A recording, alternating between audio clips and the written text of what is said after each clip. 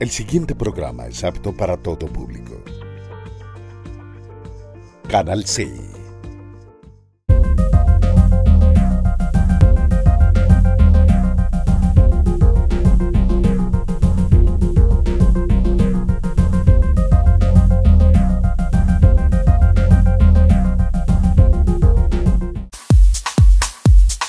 Tierra Nuestra Magazine. Gente, salud, educación, cultura, obras, desarrollo, comunas, tendencias. Todo el sabor de Cali y el Valle. Tierra Nuestra Magazine.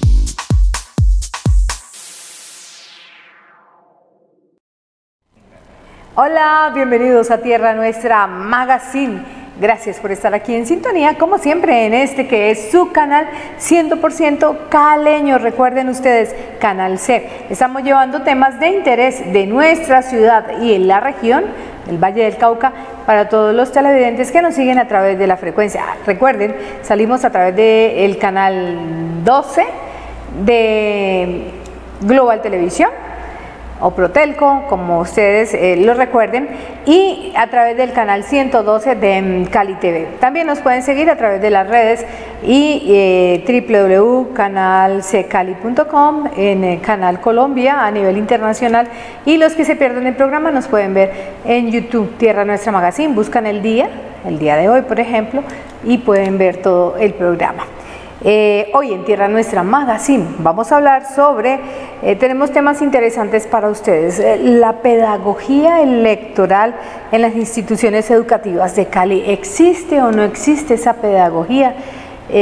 antes había una cátedra que se llamaba cívica, algo así, educación cívica, y de pronto a uno medio le enseñaban lo que significa nuestra patria, pues bueno, vamos a ver, vamos a dialogar con un experto a ver qué nos dice sobre este tema que hemos propuesto, pedagogía electoral. ¿Hay o no hay a nivel de las instituciones escolares y universitarias también, ¿no?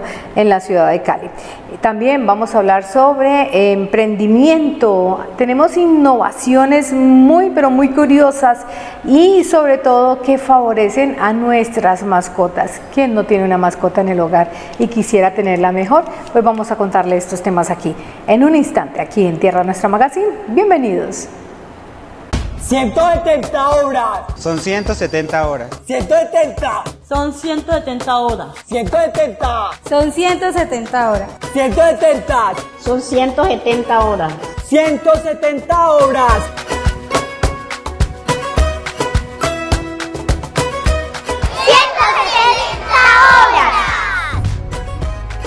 Palmira, mira el cambio. Servicentro La Coraza, alineación, balanceo, sincronización, lubricantes a granel, cambio de aceite, filtro, aditivos, lavada, brillada, mecánica rápida, ACPM, gasolina extra y corriente, medida exacta, calidad y confianza. La Coraza Cali, carrera 46 con 54 esquina, Avenida Ciudad de Cali, PBX 328-5391. Servicentro La Coraza. En el Valle del Cauca hemos realizado una inversión nunca antes vista para garantizar el bienestar y la educación de nuestros niños. ¿Querés conocer el trabajo de corazón que estamos haciendo? Impulsamos estrategias para evitar la deserción escolar. Gracias al PAE, 371.765 menores tuvieron acceso a un suplemento alimentario en sus colegios. También entregamos 268.247 kits escolares para que puedan estudiar adecuadamente. Y 300.000 estudiantes recibieron zapatos escolares para ir a clases. Iniciamos la construcción de 12 colegios 10 para brindar mejores condiciones a los estudiantes. Logramos con los más porras que 245 estudiantes de estratos 0, 1, 2 y 3 se beneficiaran con becas en la Universidad del Valle. Además apoyamos también la educación rural a través del PER, beneficiando a 53.705 estudiantes con proceso de formación. Seguiremos con nuestro trabajo de corazón para hacer realidad los sueños de los niños a través de la educación. Gobernación del Valle del Cauca. Trabajo de corazón. 170 horas. Son 170 horas. 170. Son 170 horas. 170. Son 170 horas. 170. Son 170 horas. 170 horas.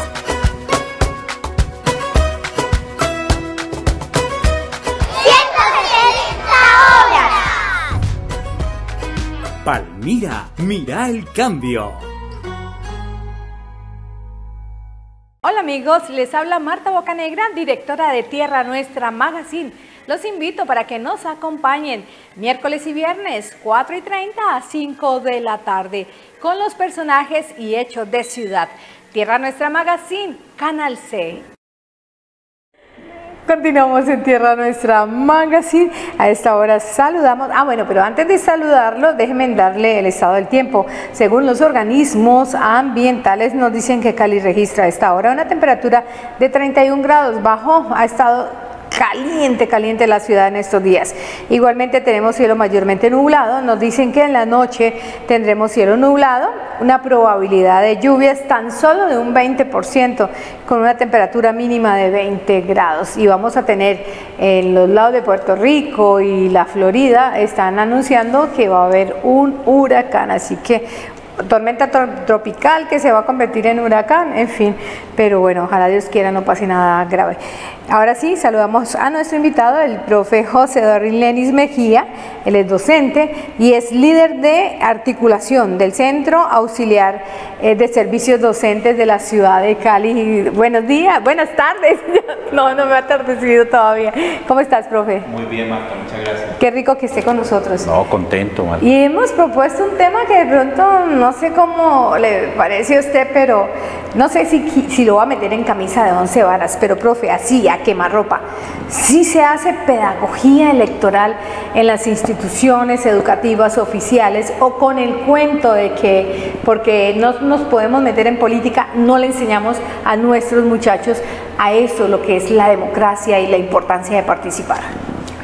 Pues como es a quemarropa, Marta, entonces, es a quemarropa, yo tengo que decirle que no se hace, Marta. Infortunadamente no se hace por muchos factores. No hay un proceso formativo, porque no puede ser solamente, digamos, cada vez que hay un tema electoral, de, existe el concepto del personero estudiantil, ¿cierto? Y se hacen las elecciones para escogerlo, pero eh, no se hace un proceso formativo desde la infancia. Pero además porque, porque democracia existe por, desde la elección que usted está diciendo, los personeritos y sí, los pero existe, existe, Marta, el ejercicio es el ejercicio electoral, pero no existe la formación para elegir bien, para tomar las decisiones, para entender las instituciones del Estado, para mm, revisar cómo se articulan, cómo es la participación de uno como ciudadano, los derechos, los deberes. Recuérdate que hace poco apenas se volvió a la cátedra de historia, entonces ahí también hay una dificultad porque no traíamos la cátedra de historia, eh, la cátedra de constitución política está metida en ciencias sociales, entonces hay muchas, muchas, muchas dificultades que nos están trayendo de que la gente tenga, sea apática, la gente no quiere salir a votar. Profe, entonces gran responsabilidad de que los jóvenes de hoy en día no les guste salir cuando hay estos procesos democráticos, salir a ejercer su derecho al voto, en gran eh, parte es por culpa de las instituciones educativas o del régimen o del sistema que tenemos. Es, todo, es digamos el Estado que ha tenido una crisis ética en las instituciones, en la Fiscalía, en la Contraloría, entonces la gente dice, pero ¿para qué votar si no tenemos órganos de control, por ejemplo? O son muy débiles pero además cuando se escoge se ha generado el famoso, la famosa politiquería, ¿cierto? Entonces eh, nosotros tenemos ciudadanos que tienen desconfianza en las instituciones, ciudadanos que, tienen, que no comprenden los derechos, incluso constitucionales. Si tú le preguntas a un estudiante qué es una habeas data, una habeas corpus, que son elementos básicos que debería tener cualquier ciudadano, no se tienen porque en la escuela no se trabaja. ¿sí?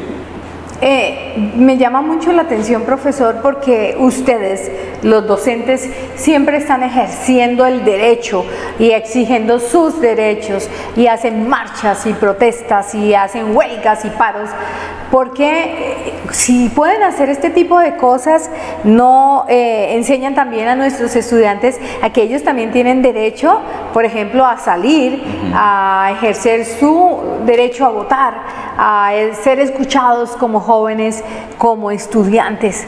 Bueno, porque, porque además también estamos en una época del siglo XXI muy difícil, Marta, que es la época de la tecnología de la información. Estamos en la época de la información y en la época de la información eh, hay también unos controles, inclusive los medios de comunicación. Los medios de comunicación generan desinformación, entonces la gente termina siendo manipulada. Yo traje este texto, Marta, porque siempre como profesor me gusta. Este es un, es un, es un filósofo, un pensador contemporáneo, se llama Byul Chul Han, es, es coreano, y quiero leer así, esto es una cosa cortica, Marta, para solamente para dejar esto aquí, acá, muy importante. Dice, el neoliberalismo convierte al ciudadano en un consumidor. O sea, ¿qué uno ve en las redes sociales? La protesta, la protesta, la gente indignada, pero en la acción, nada. Solo en la red. O sea, solo en la red. Pero en la vida real no ejercemos los derechos que constitucionalmente tenemos. Entonces nos volvemos es consumidores de información, pero no eh, gestores de acción concreta. Entonces, eso está pasando en la escuela, está pasando en todo lado. Es, es, decir, profe, que estamos, eh, no estamos ejerciendo la acción, estamos simplemente participando con un me gusta, con un no me gusta, con un like eh, en la Pero más con el me gusta. Sí. A nadie le gusta que le escriban no me gusta. Casi siempre quiere que le digan algo bonito. Sí, sí. Así no sea lo real, así no sea lo, lo, lo efectivamente cierto así no sea la verdad. No, y es que cuando usted a través de una red social, eh, Twitter, Facebook, Instagram, de esas eh, Snapchat, todas esas que hay, usted de pronto va a colocar su opinión personal, de pronto muy crítica, se le viene todo el mundo encima. Y lo sacan y lo excluyen. Porque para mantener el enjambre hay que actuar y pensar como todos los del enjambre, porque si no tú quedas excluido.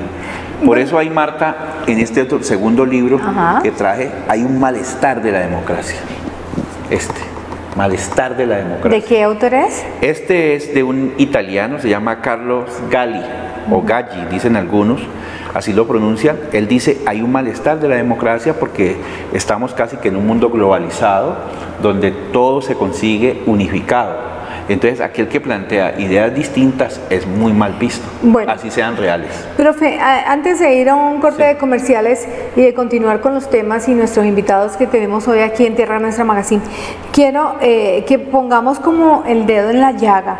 Estamos próximos a una jornada electoral.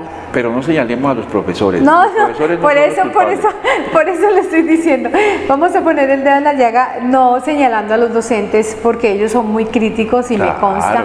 Profe, eh, ahí estamos cerca a una jornada electoral. Sí, correcto. Donde se van a elegir concejales. Empecemos. Hay, cinco tarjetones. Sí, y hay elección de juntas administradoras locales, o, sea, la JAL. Sí. Eh, elección de concejales, elección de diputados, elección de alcaldes y elección de gobernadores. Correcto. Son cinco tarjetones que van a tener los ciudadanos para ir a ejercer el muchos por desconocimiento, por ejemplo, de los candidatos al consejo, van a decir, uy, mucha gente, hay como 600 inscritos para 21 cargos, 22 para cargos, 20 cargos, para 20 cargos en el consejo de Cali. No, pues que marquemos cualquiera o marquemos en blanco a la carrera, a la asamblea igual. Ah, pero la asamblea qué hace? No, no, nada, en blanco. Y escogerán gobernador, y eh, alcalde, y los de las juntas administradoras locales menos, porque viven en el, en el, sector, en la comuna, pero ni siquiera los conocen. Ese tipo de problemas que estamos viendo con mucho abstencionismo, con muchos problemas a la hora de que se gasta mucho dinero para hacer eh, la democracia, ojalá fuera participativa y no se hace. ¿Qué Incluso algunos están diciendo, algunos están diciendo y están proponiendo voto obligatorio Voto obligatorio porque la gente eh, se queda en la casa y dice, no, yo para qué, ese ya ganó, Pero mi entonces, voto no vale mucho. Profe? La pregunta es, ¿qué hace el profe desde las aulas? ¿Cómo podemos contribuir? Así la ley, así no haya normas, así de pronto nosotros por el solo hecho de ser docentes que queremos que estos muchachos tengan pensamientos críticos como antes, le, los hagan pensar, no sé. Eso, es muy importante eso que tú estás planteando. Lo primero, establecer más trabajo en el pensamiento crítico en el pensamiento reflexivo. Yo creo que hay que permitirle a los estudiantes que ellos mismos sean quienes organicen sus actividades democráticas, sus elecciones, que no sean los profesores, sino los mismos estudiantes que organicen el gobierno escolar, que participen del gobierno escolar, que sus decisiones sean recogidas y, reconocidas. Yo creo que eso hay que hacerlo, pero que además se pudiera hacer una especie como ejercicio como el de la ONU, ¿cierto? Entonces que los muchachos, por ejemplo, vayan al consejo un día invitados Usted hoy es concejal. Vea qué hace un concejal, qué hace un diputado, ¿sí? que conozcan más de, de las acciones políticas. Constitucionalmente nosotros desde el 91 venimos con eso. Ahora vamos a tener aquí 20 concejales. Son 21, pero recuerden que el que quede segundo en la elección de alcalde Va a pasa a ser concejal. Y lo mismo el que quede segundo en la elección de gobernador Va pasa a a ser ser diputado. diputado, sí. Entonces tenemos realmente 20 y tenemos los que se inscriben por firmas, pero tenemos los partidos tradicionales. ¿Sí? y los partidos emergentes. Entonces tenemos una cantidad, una saturación de gente que incluso de forma irresponsable, Marta, se presenta a una candidatura. Yo no me puedo presentar a una candidatura y yo no conozco la ciudad. Yo te- necesito conocer la ciudad, cómo se organiza la ciudad, cómo está constituida, legalmente qué me toca administrar, cuáles son los poderes que voy a desarrollar. Si yo no conozco eso, debiera yo responsablemente decir, no puedo ser candidato, no puede ser candidata a, a- a un espacio de elección popular. Pues dejemos eso de reflexión, profe, mientras vamos a comerciales, para toda la gente que nos ve. Uno no puede ser irresponsable, como lo ha dicho el profe José Darwin Lenis, de querer ser candidato si no tiene el mínimo conocimiento de lo que es la administración pública, de cómo funciona. Correcto, correcto. Esos, esos son mínimos, son los básicos, ¿sí? Pero además responsabilidad con la ciudad. Con la responsabilidad. Y sobre todo de la gente, de los políticos que están ahí detrás y que sabemos que hay muchos políticos que se aprovechan en campaña para sacar tajada y les importa un bledo. La política es Perdónenme la para administrar bien, Marta, Sí. para ayudar al colectivo y ayudar a la gente. Ese Y- es el propósito de la política. y les la impor- política no es algo, no es algo individual. Que les importe más la ciudad, ¿no, profe? Que les importe más la ciudad. Correcto. Eso es lo que estamos desde Tierra Nuestra Magazine eh, queriendo, invitándolos a ustedes y por eso los ilustramos con nuestro profesor invitado hoy, el catedrático José Darwin Lenis. En un instante regresamos, José Darwin Lenis Mejía. En un instante regresamos con nuestro siguiente invitado, un tema bien, pero bien interesante para todos ustedes y sus mascotas. 170 horas. Son 170 horas. 170. Son 170 horas. 170. Son 170 horas. 170. Son 170 horas. 170 horas.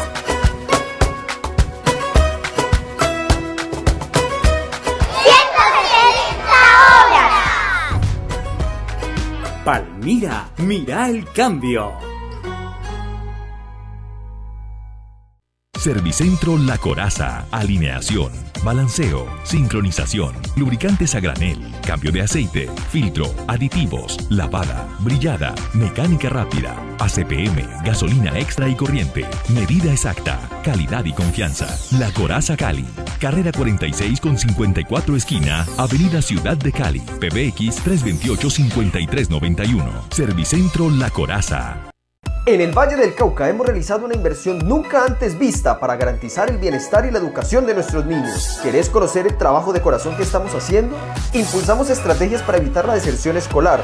Gracias al PAE, 371.765 menores tuvieron acceso a un suplemento alimentario en sus colegios. También entregamos 268.247 kits escolares para que puedan estudiar adecuadamente. Y 300.000 estudiantes recibieron zapatos escolares para ir a clases. Iniciamos la construcción de 12 colegios 10 para brindar mejores condiciones a los estudiantes.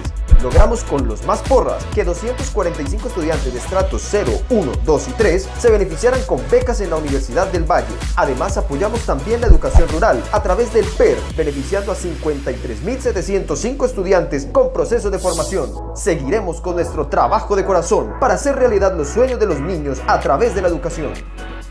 Gobernación del Valle del Cauca. Trabajo de corazón. 170 horas. Son 170 horas. 170. Son 170 horas. 170. Son 170 horas. 170. Son 170 horas.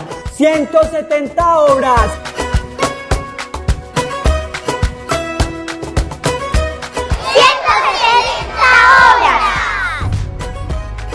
Palmira, mira el cambio. Amigos, les habla Marta Bocanegra, directora de Tierra Nuestra Magazine. Los invito para que nos acompañen miércoles y viernes 4 y 30 a 5 de la tarde con los personajes y hechos de ciudad. Tierra Nuestra Magazine, Canal C. Continuamos en Tierra Nuestra Magazine. ¿Quién en un hogar no ha tenido o no tiene en este momento una mascota? Que levante la mano, porque yo pienso que todas las familias, por pequeñitas que sean, alguna vez en su vida han tenido una mascota en sus hogares. Pues bueno, y siempre queremos lo mejor para ellos. Hoy en día una mascota se ha convertido en un miembro más de la familia, igual hay que llevarlo al veterinario, que es su médico, hay que llevarlo a la peluquería, hay que comprarle sus alimentos nutritivos y hay que tener un cuidado especial con ellos. Pues sobre este tema, el de los alimentos, eh, tenemos hoy un invitado muy especial, se llama Daniel Rodríguez, él es un emprendedor caleño que viene trabajando precisamente con eh, innovaciones en la alimentación de nuestras mascotas. Bienvenido Daniel, ¿cómo estás? Muy buenas tardes Marta, muchas gracias por tu invitación. Bueno Daniel, eh, cuéntanos un poquito en qué consiste el emprendimiento que tienes y cómo fue que nació del alimento para nuestras mascotas. Bueno, como, como, nacen las empresas, las empresas nacen de una iniciativa y a veces la iniciativa en mi casa estaba en, el, en la mascota, estaba en el perrito de la casa. Eh, la mascota llegó un día en que dijo, no quiero comer más pepas. Y, dijo, es que eh, no quiero. O sea, simplemente las dejaba allí, las dejaba allí y empezaba a sufrir de vómitos, de diarrea. Entonces, de ver el animalito que estaba sufriendo todos los días. Empieza la familia a sufrir también, empieza, ¿no? Empieza uno, bueno, ¿qué le damos? Entonces, démosle una salsita, démosle otra cosa, démosle... Empezamos a comprar unas salsas que venden.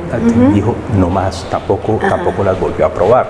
Posterior compramos, nos dijeron, bueno, hay una comida que se llama una comida natural, comida BARF, y esta comida BARF la empezamos a comprar, pero igual, igual pasó, ¿por qué? Porque hay algunos, algunas personas que producen estas, estas comidas, pero no de una manera técnica, o sea, van y muelen, obviamente, de la mejor manera, también de pronto con, con el mismo amor que nosotros lo, lo estamos haciendo en este momento, pero no de la forma técnica. Entonces el animalito también volvió a, sufrir, a sufrir de la, del es, decir, es decir, que el, el, el, emprendimiento, Daniel, nació precisamente de una necesidad de que tener a su mascota en buen estado.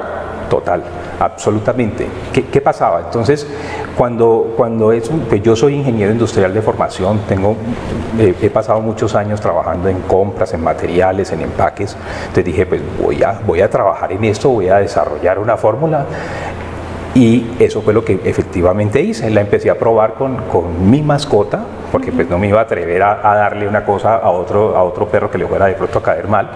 Y lo que vimos es que se curó absolutamente de todos los males. Ajá. Eso mismo se lo comenté a, un, a una persona, a un amigo, a un amigo muy cercano, y, él, y, le, y, le, dije, mira, yo estoy trabajando en este emprendimiento, me gustaría, me gustaría ver si me puedes apoyar. Me dijo, sí, efectivamente, yo te apoyo en ese, en ese asunto y formamos una sociedad que se llama hoy Bruno Barf. Oh, ok. Estamos también con el profe eh, José Eduardo, porque acuérdense que él es, estaba hablando de democracia, pero ahora quiero que él nos acompañe en este tema porque lo vi muy interesado, profe, claro, claro. en el tema de, de las mascotas y, y, lo de los alimentos, el emprendimiento, ¿no? Qué bueno que tener claro, ¿no? jóvenes porque, también emprendedores. Y porque Daniel lo que está haciendo es un ejemplo que impulsa que, por ejemplo, los jóvenes entren en proyectos de emprendimientos colectivos, que de pronto evolucionen, digamos, a nuevas mascotas, porque también hay familias que tienen otro tipo de mascotas que no solamente son, digamos, eh, los perros, sino que también tienen los gatos, incluso los loros, los, los sí, los pajaritos. O sea, hay que ir revisando cómo, cómo Oiga, eh, profe, usted ha tocado un tema muy importante y es la creatividad. Uh -huh. ¿Cómo estamos de creatividad en los colegios en esto del emprendimiento, como, como lo que nos ha mostrado Daniel? Sí, hay un, existe ya una cátedra, pero todavía está muy incipiente porque no hay como la formación de los profesores para dar las orientaciones que se necesitan pero, para, para, para, formar un producto, para trabajar la innovación. Pero sería muy chévere que no, llevarlo, invitarlo, claro, imagínense, Daniel, a los colegios. ¿Y cuál es el producto en sí que Daniel está desarrollando? Bueno, posterior a eso entonces se trabajó no solamente en, en, en el, en el producto. El producto que estamos trabajando es una comida BARF, una comida natural. ¿Qué significa BARF? BARF es básicamente eh, biológicamente apropiado y raw food, que significa comida cruda. Okay. Pero entonces en esa comida cruda empezamos a, a ir más allá.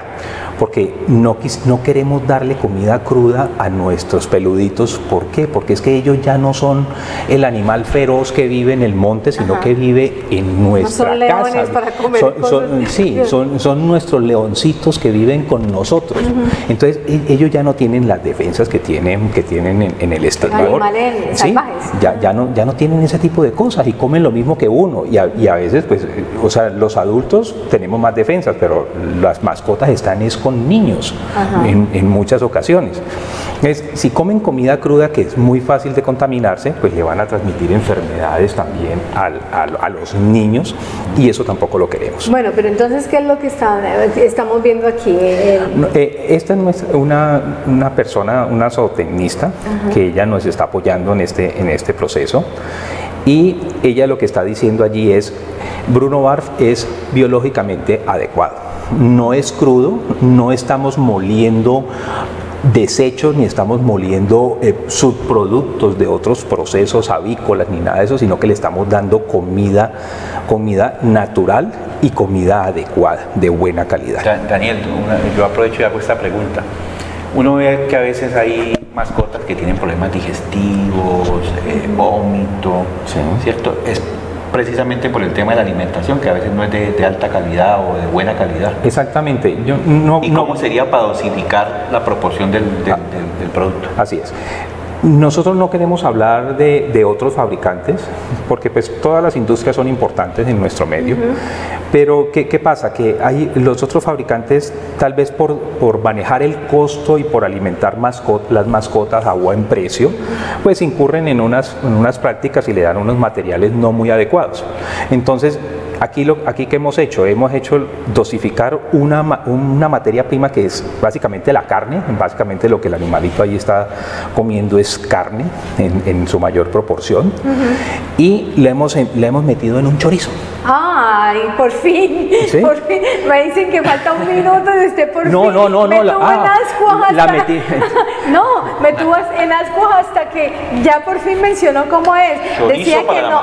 Chorizos para la mascota. Que no son granitos, sino chorizos. Son chorizos. Entonces, estos chorizos, estos chorizos son dosificados. Si el perro pesa 5 kilos, pues le damos 5 chorizos. Ajá. Si pesa 6 kilos, le damos 6 chorizos. Esos son como poniendo un ejemplo, Daniel, parecido a los chorizos cocteleros que uno compra para, para las reuniones Ah, familiares. ¿sí? Así es, así es. Es más, eh, eh, hay casos chistosos en donde el señor de la casa ha llegado después de una rumba y no encontró qué comer y se comió los chorizos del perro.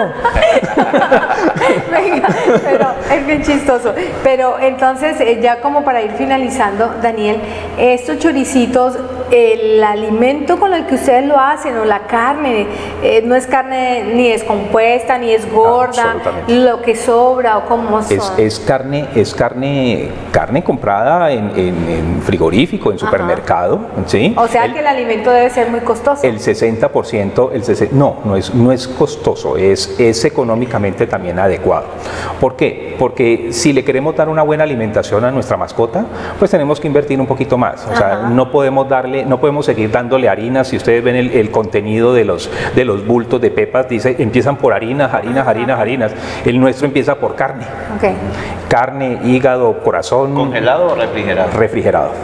Ya avanzamos un proceso más, ya no lo tenemos que congelar, ya lo, lo- se puede mantener en refrigeración normal. Ah, bueno, pues muchas gracias a Daniel Rodríguez. Él es un emprendedor caleño que viene a traernos esas buenas noticias. Profe, ¿usted tiene No, mascotas? No, queda que Daniel está invitado para que haya mi institución. Ah, Por bueno. supuesto que sí, profe, con muchísimo gusto. Y aquí lo veremos Me en- encantaría hablarles de emprendimiento y de muchas En otras nuestro canal también lo tendremos en otros programas porque es bien interesante tener una comida y, y nos hubiera traído la, la muestra para que aquí en el canal la tengamos para, para hacerle también promoción a- al. Pues alimento de los, de los de las mascotas. Una, Muchas pregunta, gracias. una última para Daniel. ¿Y para gatos?